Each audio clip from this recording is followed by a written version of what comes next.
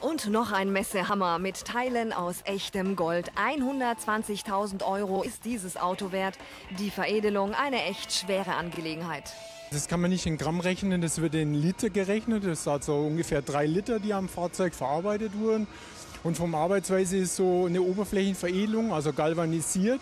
Und das ist mit dem Gerät, was man hier sehen kann, äh, kann man das praktisch am Fahrzeug auftragen, ohne die Fahrzeugteile abzumontieren.